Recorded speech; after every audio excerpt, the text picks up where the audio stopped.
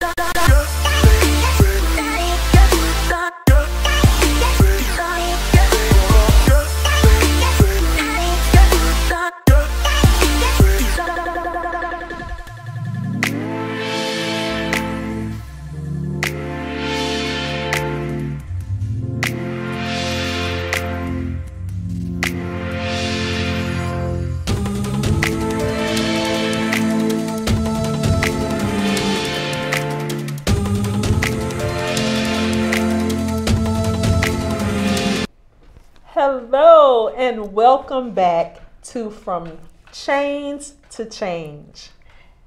Hi guys. Hey, Sway. Hey, sweet. I'm Consuela Sway Gaines, and today with me I have my coworker. um, Marcus Simmons, uh, aka Chachi, and I'm a Lafayette organizer um, for Vote, Voice of the Experience. and one of our outstanding member leaders. Matthew Green, uh, member of Vote and uh, leader of the member policy team. And we are here today to share some very interesting topics that we feel that all of you need to know and hear about. Um, but first, one of the things we wanted to touch upon was the fact that we haven't kind of revisited to our viewers who we are. What is who is vote? A lot of people say, "What is vote?" You see the word vote and you think that's all we're about. But notice, voice of the experienced. That is what it's all about. And so we're going to touch upon that a bit more in this particular episode so you guys can get a better understanding of who vote is and who we're not. And um, so we'll just kick that conversation off. Um, vote was actually started at Angola, Louisiana State Penitentiary at Angola. Um, our founder, Norris Henderson, um, he's our executive director. He and several other gentlemen were there at Angola, and they put together a group called the Special Civics Project. And they wanted to be able to educate the guys on the inside about their civil rights, about their voting rights. Can you believe that? Talking about voting rights inside a prison.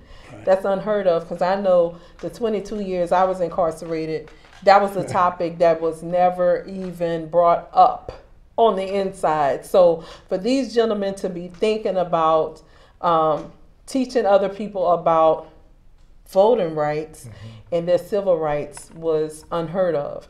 And so, um, you know, they they did a lot of really really amazing things. They were able to restore freedom to to the guys on the inside as well. And I think one of the most uh, special parts of the Angola Special Civics Project was every single person who was a member was some way impacted by the law, right? Yes. By ending up going through the criminal justice system. And it was all dedicated to educating people about the law mm-hmm. and knowing about the law, how to use the law to your mm-hmm. advantage, how to know your rights. The rights of, of all humans were at the center of that work. And mm-hmm. so knowing the law and understanding the law um, and then using the law has Right. always been at the heart of Vote, the Voice of the Experience in the Angola Special Civics Project. Yes, and I'm glad you said that, you know, because even when I, I was at the Louisiana Correctional Institute for Women in St. Gabriel, um, I was what they call an inmate counsel sub for about 10 years. So I was able to learn about laws and able to help women with some of their criminal and even some of their civil cases dealing with their, their children and things like that. And so, um, most of the time, people who become incarcerated don't know or understand what their rights are. Mm-hmm. And so it's important to be able to have people on the inside right. who can actually assist right. them with that. And so Norris, those guys, they did it at Angola. They were able to, you know, win the freedom of a lot of the guys there until they were able to actually regain their own freedom mm-hmm. um, because Norris spent 27 years at Angola on a crime that he didn't commit. Right, right. And so you have a lot of other guys and women who are sitting behind bars on crimes that they didn't commit or for crimes that they should have received a lesser included offense for um, and definitely excessive sentencing. Mm-hmm. Um, and so at Vote, that is something that we're trying to change, we're trying to improve in the criminal justice system because the excessiveness of sentencing and then it, and it and it's really more black and brown people who receive these excessive mm-hmm. sentences mm-hmm. and so we're constantly advocating and trying to uh, revisit the laws to see why it is that our criminal justice system or our prisons are, are just bursting from the seams with black and brown people and poor people. And it's because Louisiana has a very, very bad tendency to place extreme sentences on black and brown and poor people of our communities. Right. So I was going to say, it seems like Louisiana likes to incarcerate first and ask questions right. later. Right. Yes, um, try to figure out how that maybe Right. I'll say maybe because I don't see them really working very hard to to try to, to prevent mm-hmm. people from going into incarceration, which a lot of that stems from poverty. Mm-hmm. It stems from poverty. It stems from um, people not being educated. It stems from um, literacy people not so, being right, able to read right, and write. Right. So thinking about this, and, and we're wanting to sort of revisit the history of Vote and talk about Vote's core mission here. Um, thinking about Vote's core mission, I want to ask each of you, because both of y'all members of Vote for a long time and, and work for Vote. What do you see as Vote's core mission? I know Vote has its its written core mission, mm-hmm. but Vote Vote is doing a lot, and we, we thought this was a great opportunity yeah. to not only revisit the core mission, but talk about some of the initiatives Vote is involved in. So, what do y'all see as Vote's core mission, if you were to summarize it? I would say that the core mission would be to end mass incarceration, right? And the only reason I feel that we have such a an abundance of incarceration of black and brown is because people couldn't afford proper um, consultation mm-hmm. and representation. Right? Representation couldn't mm-hmm. afford it, and you know, of course, the system take advantage of that, and you know, they just capitalize on us and, and plea bargain folks out. That's yeah, you know, like she said, illiteracy. Mm-hmm. I think a majority of people would be surprised to know that most convictions are plea bargains. They're plea not even actual plea convictions. Right. Yes. Right. Um, people don't go to trial right. very often right. anymore. Right. Right. Right. And and and it also has become um, for the for the longest time kind of like a routine, a style. Mm-hmm. My dad ends up in prison.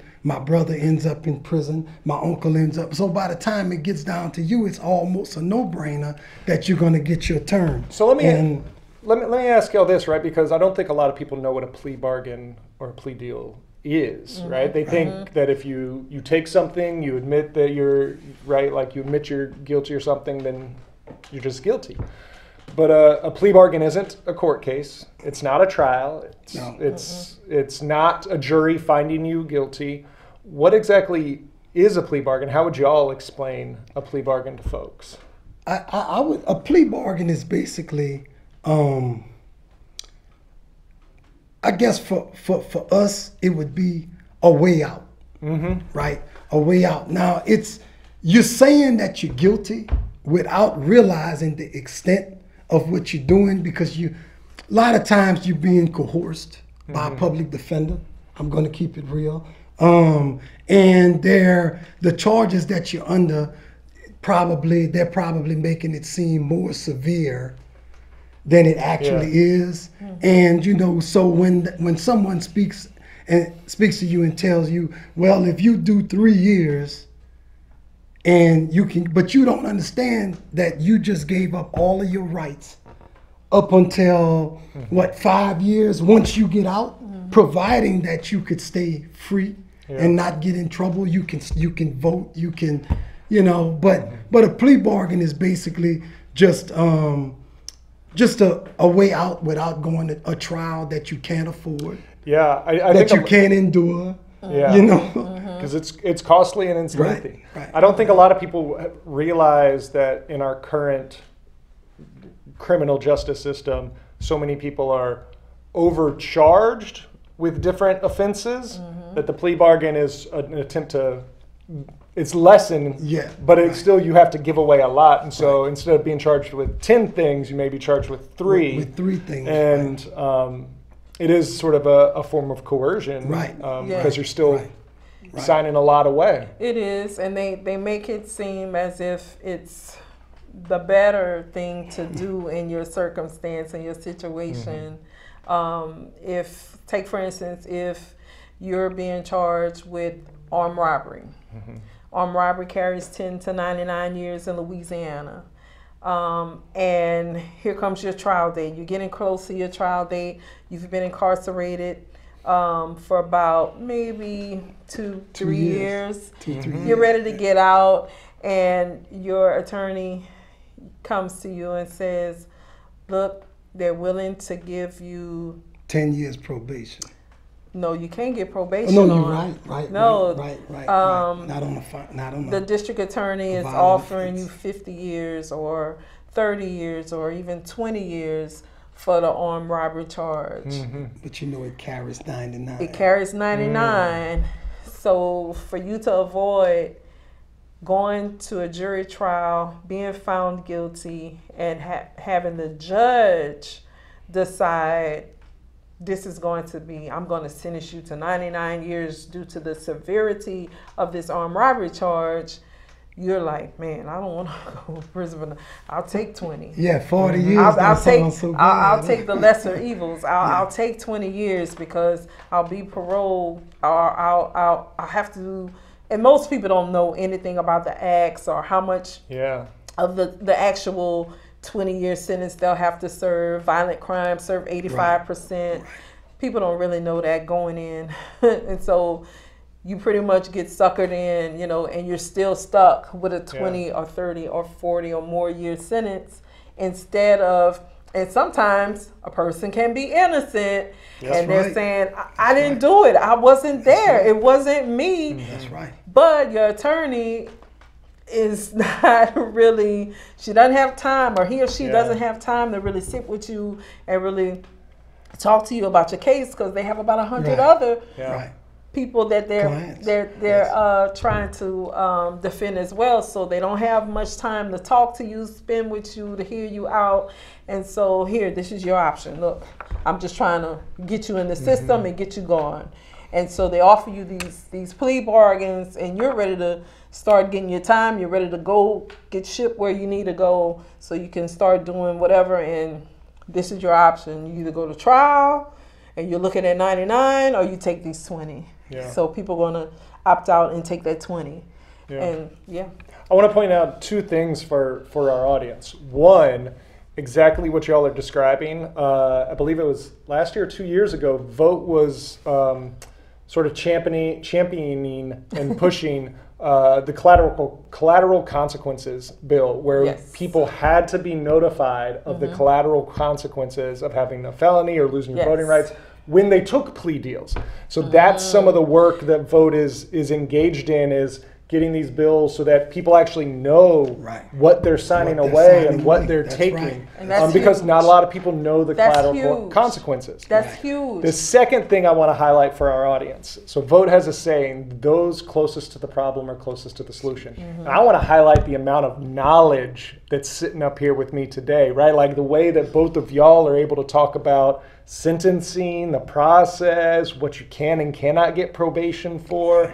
That's not a lot of knowledge that the general public has. No. It's not knowledge that No. it's knowledge I don't have. Right. And You have to really I'm a, I'm be a in the professor, system and it's like, it. yeah. Yeah. and it's it's the amount of knowledge that vote the books. utilizes. Yeah. Yeah. and the way that vote utilizes its members, and recognizing that you all bring knowledge of the system and how to work the system and the laws, is so important to this work. Because there's some family members out there who have some incarcerated loved Mm-hmm. ones, and they're like, I don't know what to do. I can't figure out what to do. They're telling me do this, do this, do this, get an attorney, a paid attorney who you can't afford Right. that Yeah. wants 10, 15, 20,000 dollars of money that you don't have and you're like, "Oh my god, my child is facing a life sentence Right. or a, a virtual life sentence. Mm-hmm. What do I do? What do I do?" they don't know. Families are clueless. They don't Right. Know or understand what's going on with their loved one and it can be very depressing yeah, very depressing. absolutely. So you know, here at Vote, um, we don't we don't take personal cases. We Right. advocate just going to in on mass. We advocate for groups of people, which are either going to be the incarcerated or formerly incarcerated people. We advocate for um, laws and for bills to be passed that will affect people who are currently or formerly incarcerated, not just one or two people. See what I'm saying? And so a lot of people, um, we we al- I always get calls of people, um, and I don't mind, especially people who are calling about partner parole board hearings, because that's another process. Most people don't know, they don't understand. They've never been to a board hearing. They don't know what the board members are are expecting or looking for, or what their loved one needs to be doing prior to the hearing Right, to um, prepare. to prepare for it to, for for a positive result you know? And so i often get phone calls of people wanting to know um, what do they have to do? What, what can they do? You know so i don't mind sharing the knowledge that i have about the pardon and parole board process because even it can be you know a little tricky if you don't know what Yeah. that process is So Marcus gave us his uh, thoughts on what he he thinks the core mission of Vote is. This is a great time to ask you, Sway. Wha- How would you summarize the core mission of Vote?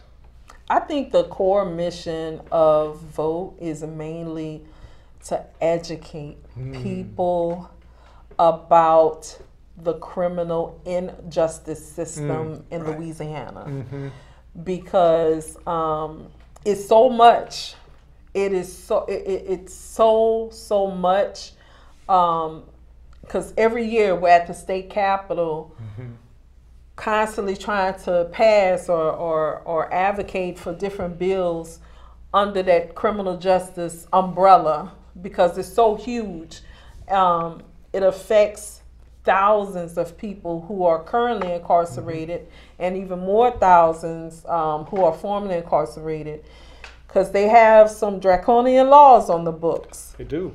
Um, take for instance, we advocated for um, the non-unanimous jury Right.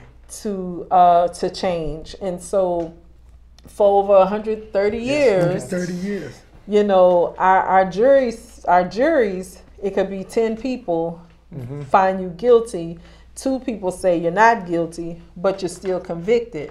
And there are still men and women who are currently incarcerated under that old law. But now, moving forward, it has to be a unanimous jury in Louisiana. Finally, it took them only a hundred plus years Right. to get to that point, but it took organizations Right. like this grassroots Right. Yeah. organization vote to educate people because most people didn't even know Right. that was know. happening There are only two Right. states in the whole Right. United States that and still it did would it. be us. It Uh-huh. would be Louisiana one, um, and so people were shocked. yeah. And People were actually shocked when they found out Mm-hmm. that this was happening and didn't even realize it. They were just thinking it was, you know, it was unanimous jury Right, and right, not right. realizing the history behind, you know, Mm-hmm. it, it and and it took, like I said, it took vote and other organizations to educate people so that they can see it's more than one side to every story. Mm-hmm. I think that's yeah. that's especially important because when we think about what vote does yearly with policy, going to the Capitol, advocating, Uh, we oftentimes think that legislators and lawmakers are experts in their area, and they're oftentimes not. And they're oftentimes in need and looking for constituents like me, like Right, you, like right. you at to home, educate them. to talk to them about what the issues are, inform them about what is affecting your life, how does this uh, not work for you, and so I- it's vi- like that education component becomes so important because it has real tangible outcomes, Yes. Just like the 10 to, to juries that, w- that we just saw um, a couple years ago. Yes. Um, and and I mean it, it just goes on and on and it brings us to Act 636. That's where I was another, going. another piece of education that too many people still don't know about. Um, Act 636 restored voting rights to over 34,000 people in the state of Louisiana, 34 formerly incarcerated people in the state of Louisiana, people who have done their time, are home, and they can actually still be on parole at five years and be eligible to register to vote. And unfortunately, um, we had people in power in these elected official positions who refuse to put that information out. So mm-hmm. we had to be the boots on the ground. We still are the boots Still on the are. ground trying to educate and inform the formerly incarcerated mm-hmm. people who may be affected by this particular um, act to get registered to vote. And that's where the name derived from, voice of the experience. Mm-hmm. And the experience is The experience is that we've suffered the pain, we've endured, you know, everything that you could possibly that you could possibly mm-hmm. imagine. So when we did get the opportunity to be out here, we knew that we had to bring relief to people. We had to educate people mm-hmm. because we knew what we know what people are feeling. We know what they're going through. Mm-hmm. And you know what who would we be calling ourselves men, women and without taking that opportunity to educate and help mm-hmm. rescue people from going through that, right. right? And for folks at, at home who are not familiar with Act 636 and the Louisiana laws, mm-hmm. before Act 636, if you were um, convicted and incarcerated, mm-hmm. you lost your right to vote for life. Yes. For life. Never, even after you paid your debt to society, Right. you were free. Like before Act 636, you had thousands of people who no longer had the right to vote. So, Vote's mission in educating and advocating really serves its name both in voice of the experience but also the act of vote right? The act of casting a ballot the act of voting. Mm-hmm. And, and it's so it's why it's so vitally important to highlight both of those elements as, as core yes. elements. And i don't think a lot of people know the history for why in the United States, we have we have and had laws that take away the right to vote from mm-hmm. incarcerated individuals. A lot of that history comes from Jim Crow South and mm-hmm. post Civil War slavery of wanting to disenfranchise black voters. Yes. One of the ways to legally disenfranchise Right. black voters Right. is through conviction. Right. And it's and it's unfortunate And it still is. that Still that is. now we're we're disenfranchising ourselves. Right. Yeah. Because we do have that right to vote and Don't will not get out and exercise that right. So we're disenfranchising ourselves because we're still believing my vote doesn't count, Doesn't my count. voice doesn't matter. And that is not true. You know, I wish that all of those people who think that way would vote at least one time. If they were to vote at least one time, um, you would see the difference because that is thousands of people who think and feel that way Yep. because it, it showed in the numbers this this recent this election. election. it showed in the numbers there was such a low it, it was historic Historically low. um, voter turnout. It, it was horrible. It was horrible on both sides, on both parties. Uh, it was horrible. I still can't get over that. I know it was it's the lowest in 20 years. it- exactly, it was- and and And I think a lot of it has to do with people not truly understanding how important local elections are. You know, a lot of everybody wants to vote for the president. The president governs federal Right. Federal laws. He can sign off on federal laws. But the ones that are going to impact us more mm-hmm. directly And immediately. and immediately are our local, mm-hmm. from our governor on down. Yep. That's local. And that is where we're seeing such a low turnout. I guess they call it, that's the down ballot, Yep. right? That's the down ballot. That's the down ballot and and I think a lot of it had to do with people not seeing their particular party represented on the ballot. So they said, well, my party isn't on the ballot, so I'm not voting. And that that hurt more than it helped. it, it hurt a lot of things And by not voting, you're actually voting. you are.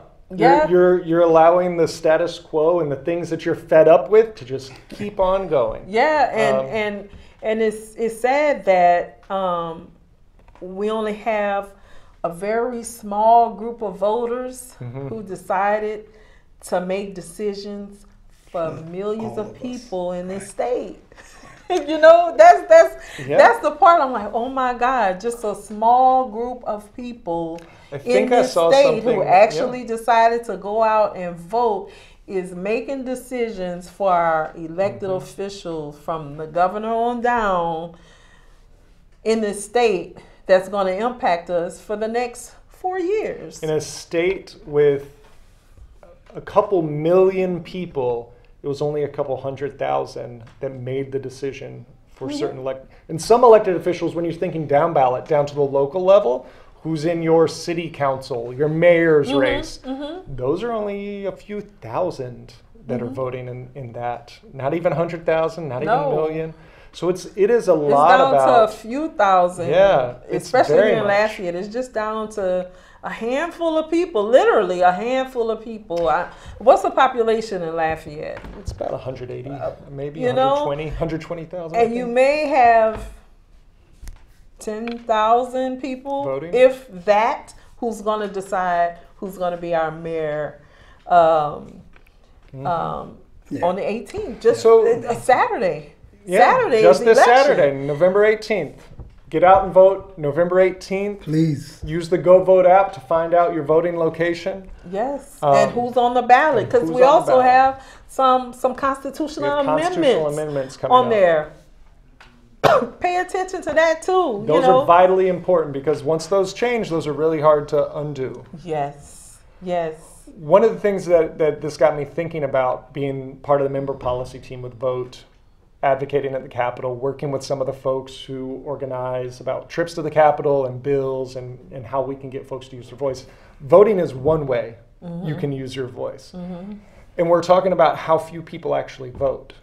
Another way that we see people advocate and talk to legislators and get things passed is by actually talking to legislators Right. Yes. going to the Right. Capitol. And if you think about how many fewer people go to the Capitol, um, where maybe a couple 100 Mm-hmm. go and speak and talk to their legislators, and that really actually has a huge impact, Mm-hmm. regardless of who wins the election.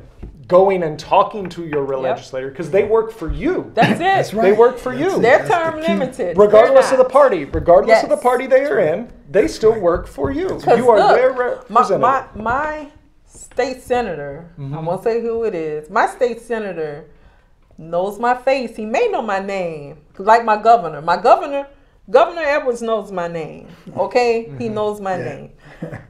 My state senator, he's gonna remember who I am, Yeah. you know, because I'm gonna constantly be around, letting him know I'm I'm watching you, I'm seeing, I'm Right. hearing what That's you're right. doing. That's right. And That's right. um, I'm going to hold him accountable to some things. We're not together as far as party affiliation, but he's still my senator. He's Mm-hmm. still my representative. So I have to be able, and I can, I can schedule meetings with him when there are going to be bills coming up. I'm going to sit down and have some conversations with him to find out how he feels about some particular bills and if he's going to be voting in support or against Mm-hmm. and definitely trying to sway him whichever way I need him to go for the best interest of not me but for people who are in the community who people who I know don't really know that they can do the same thing that Yeah. I'm I'm doing.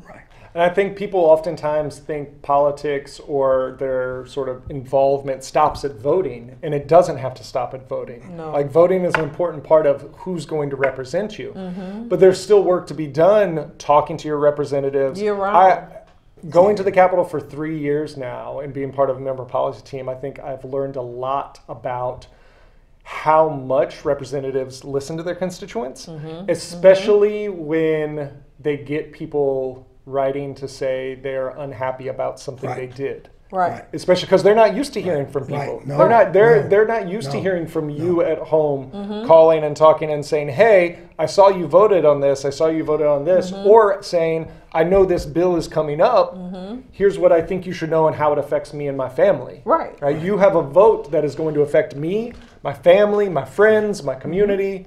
And that's Uh, where the misconstruction comes from because it's people have been quiet for so long Mm-hmm. without complaining to them or calling them out that the ro- they in their brains the role has been reversed to where we work for them. Mm-hmm. Right. you know and many. that and that's that's that's, that's not how it is. We elected you to work for us. Mm-hmm. So you have to represent me in what i in the way i want to be represented. Mm-hmm. And if you can't do that Right, right. And that that that just reminds me of something locally Mm. that I know all of you within the city limits of Lafayette had an issue with. That was our our new garbage cans. Yes. That is under the direction of the city. Mm-hmm. Right?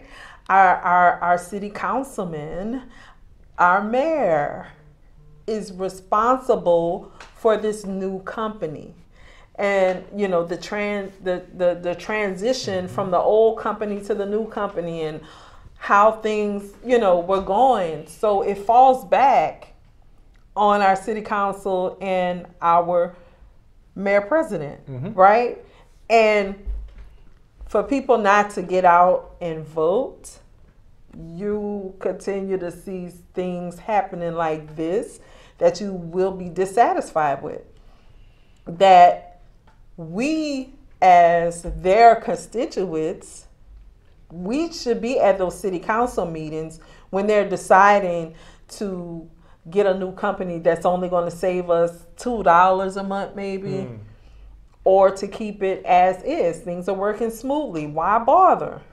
You know, so I'm not Yeah. speaking for or against, but that's just an example of something that's local that's directed under your city council or your and your parish president to to drive home the importance of voting in your local elections. That is my point. Voting in your local elections. And just recently, I saw um, there was a conversation in the in the city council about um, sober living houses Yep.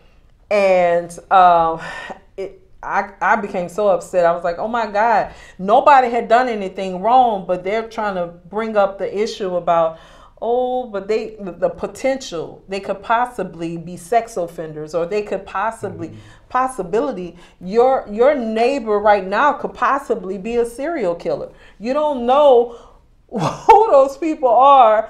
You know, you may know them for 20 years and something may happen things happen all the time but for people to actually be going to their city council representative mm-hmm.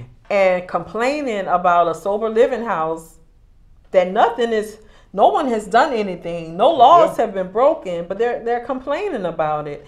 And so mm-hmm. that's why you have to get involved and pay attention to what your city council mm-hmm. members are focusing on so you can go to these these meetings because they're public meetings and put your opinion. It reminds me of when we had Narika and Josh on the show to talk about the, the School local board, issues, the school board, the parish city, council, that, and the city council, um, and all the things that the the things that affect our lives day to day Mm-hmm. are those local down ballot That's right. Yes. issues. They're not necessarily the big national issues or the state issues. They're those Right, down right. ballot issues Right. um, in, bi- in large and, and small ways, because I think Yes. a lot of people are experiencing uh, issues with housing across the board. huge, huge issue. board. Huge issue. Um, and I know um, statewide, locally, um, homelessness is is a Mhm. huge issue. It's just not enough housing, not enough affordable housing for people. So, and it's statewide. It's probably nationwide. Mhm. Um, but we're starting to really, really see the impact of the the unaffordability of it because you see a lot of homelessness. You see, It's um, growing. It's growing every day. and of course, you know the crimes are going up. You know the crime rates are going up, and and people just want to focus on the crime, but people don't just wake up one day and say, "I'm going out to commit a I want crime." to be a criminal. I want to be a criminal. I want to go to prison. They don't. or, or I want to be people are- homeless. Yeah. Right. You don't just wake up and say that. Because we're all that close for being homeless. Let your house catch on fire and you'll find out. You know, um, not wishing that on anyone, but just to show that, you know, a lot of people think, oh, it can never be me. You could lose your job. You can mm-hmm. take sick. You Yeah. could be walking around with stage four cancer and Yep. don't know it. And then what? You're the breadwinner of the family mm-hmm. and you go to a doctor's appointment you find out that you have cancer and you have to go under some deep chemotherapy and you're not working, who's going to take care of those children? Mm-hmm. Who's going to pay the bills while you're trying to take care of your health? And so we're all that close from Yeah. homelessness. I mean, people, I, I I don't know, some people feel like things could just never happen to them, even as far as going to jail or going to prison. I've encou- I encountered nurses, mm-hmm. Oh, doctors, lawyers, everyone. doctors who were incarcerated. Surgeons. I was incarcerated with a surgeon. Teachers, you name it. that- no one is e- exempt from breaking the law. You don't know people's circumstances, but we're so quick to do this. We're so quick to judge and point the finger. Not saying, not I'm not trying to um, excuse people for for committing crimes or breaking the law, but there's always an underlying reason that we're not privy. We're not privy to that information. Right. It definitely highlights how criminal justice system and incarceration affects all of us, Mm-hmm. not just people we, we, we think it affects, but Right. it's something uh, that, and Vote talks about this a lot, like we're all touched by it in some way, whether you are in the criminal justice system Yes. or whether you're just a taxpayer paying for all of it, right? Right. Not paying for the thinking you're saving money one place or, or the other. Right. So one of the things I, I wanted to to bring up and talk a little bit about here in our last uh, last few minutes. One of the things I love about Vote's core mission is it works in and with incarcerated and formerly incarcerated individuals. For me, that is a, a big deal and a, and a huge part of vote that I love because it's it's with the community and it's with the people putting your faith in the people Yes. that they are they are capable. And so we talked some about the policy and the laws that Vote has has worked on. I'm wondering, I want to ask y'all because y'all y'all know this. Um, what are some of the other things Vote is involved in? Because Vote does a lot more than just policy advocacy and voting advocacy and campaigning. What are some of the other things Vote works with and works on and is involved in? Um, one of the things that um, we we we trying to be in the the the process, um, you know, locally. Lafayette is talking about building a new parish prison, right? Um, and for one, vote. We want to know what that parish prison is going to look like. Meaning, how many people are you? How many beds are you talking about having in this new facility? Um, what type of rehabilitative programming will you will you have space for? Because you know, right now they they don't have that many uh, rehabilitative programs going on. It's more of a warehousing instead of um, making sure that people have what they need before they're they're released. Um, How, how are they going to deal with mental health? Yep. exactly. You know, like- mental health. That's that's another huge issue. That's something that our eyes are staying on. Um, and so, you know, anything that impacts currently or formerly incarcerated people, um, we've advocated, you know, during COVID, we brought nationwide attention to the fact that the women population was at 99% um, with COVID at one facility. 99%. Why were all the women getting COVID? Why wasn't the, the Department of Corrections protecting these women? And so we um, we did a vigil. We did a, a vigil in front of the women's facility. We even went live on Facebook reading some of their letters that they had sent to vote. And, you know, we um, put that information out and it actually made it to the Rachel Maddow show Right. right. where that that was seen all over the country. So we tried to bring um, put a spotlight on things that people aren't even really paying attention to. We are because we have people on the inside who communicate with us, um, be it food rations or um, deplorable conditions of the facilities, whatever it is, we are going to make sure that we do our due diligence and find out what's going on and, and hear from more than, you know, just a couple of people. And if everybody is saying the same thing, Yes. you know, and so um, we're the ones who are going to be there trying to correct a problem. We don't we don't come bringing problems. We're trying to correct mm-hmm. problems and make conditions and circumstances and situations better for incarcerated and formerly incarcerated people. And, and, and, and more so, one of the reasons we do that is because we both remember that when we were incarcerated and we didn't have any help, we didn't have anyone that, like the system just just left us there, just warehousing us. You know what it, how hard it took, and not everyone has the strength we had, and we realize that. We we think we think our our Almighty, but um, you have so many people who cannot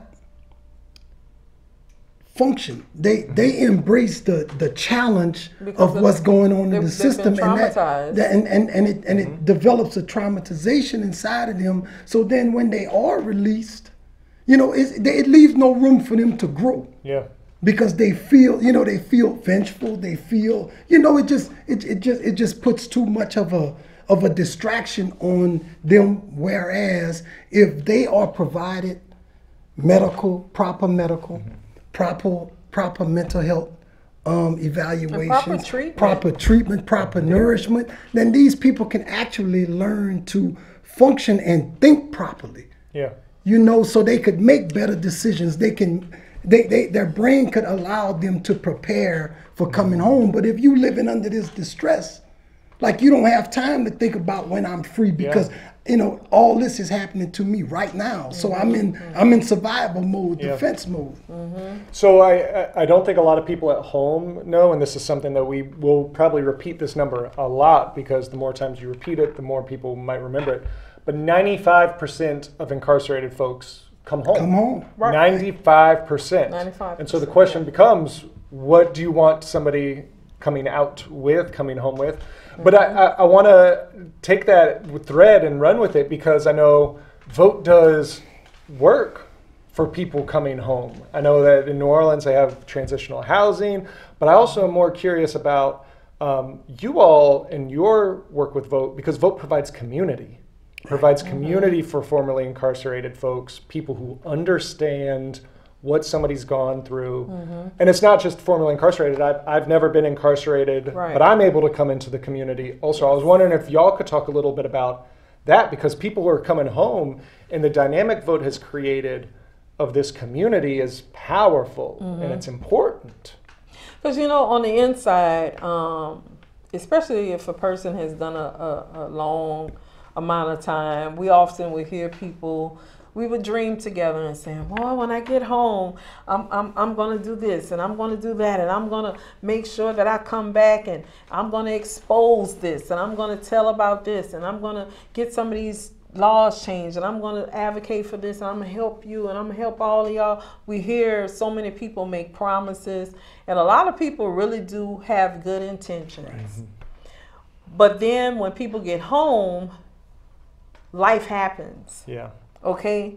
And they kind of forget about all those promises and all that noise they were making while they were still locked up about all the things they intended and wanted to do to help make things better for the people that they were about to mm-hmm. leave behind. And so, vote gives you that opportunity to hold true to your promises. Right. Hold true That's to right. your promises to your brothers on the inside, right. to your sisters on the inside, so where you're not forgetting about them. Mm-hmm. I could never forget about where I came from and the women that I left behind Mm-hmm. because those people became my family. I'm closer to a lot of them than I am to my own family, my own blood relatives. Mm-hmm. You know, and so it's so true with with most of us. We we I feel more comfortable around formerly incarcerated women, women that I did time with, than I am around people who I'm related to mm-hmm. through blood. And so vote provides the opportunity for you to be able to come into a community to where you will not forget about those promises. And this provides a space for you to be able to advocate for them to be able to to to spot put that spotlight on some issues that you Right. and your fellow people Experience. experience mm-hmm. while you were on the inside. That's what vote does. This this is a community. And for people who family members are on the outside and you have someone on the inside and you don't know what to do. You you you know you just you feel like you're alone. This is a space where you're not alone because you will you will encounter other people who have people who are incarcerated serving life sentences serving virtual life sentences who understand and you can form friendships and they can help you through what you're dealing with. And so that is community. And before we leave i gotta say this thursday um, the 16th is our final vote membership meeting of this year. We will not be at the downtown convention center. However, we will be at the Brown Skillet, which is located at 5 now- 519 uh, South Pierce Street. So feel free to come and join us 6 to 8 o'clock p.m. this Thursday, November 16th. We're going to have a treat. Come um, and enjoy our final monthly meeting of 2023. I have, so speaking of community, one of the last things I want to say, I have long said, and I will say it again vote people give the best hugs. Yeah. vote people give the best do. hugs. Yeah. Yeah. We're a bunch of teddy bears. So, um, thank you for joining us for this episode of From Chains to Change. Uh, Marcus, you want to take us out with our, our saying? I will. Ready? Yep. No surrender. No, No retreat. retreat.